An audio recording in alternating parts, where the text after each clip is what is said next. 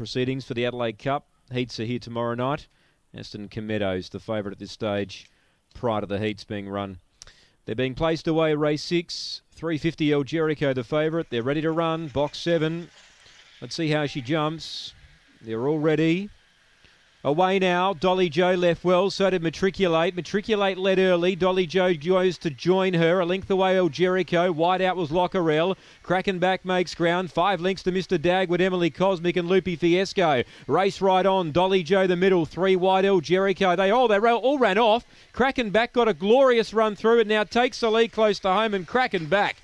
Well, there you go. Wins from Matriculate, Lockerell.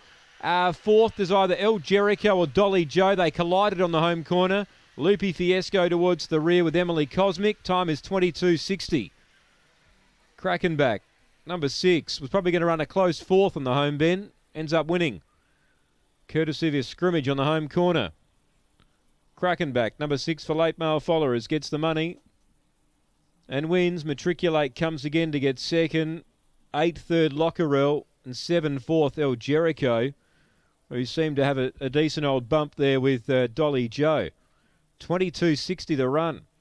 Six cracking back. Michael Widolt. 7.11 early. 10.05 off the back. 12.55 on the way home.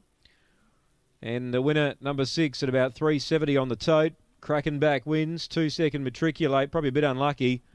Got caught up in that uh, buffeting on the corner. Flashes home to get second again. Eight third Lockerell and 7 fourth El Jericho. Busy old finish, three quarters the winning margin. 22.60 the gallop. It's 6.287 after race six Angle Park.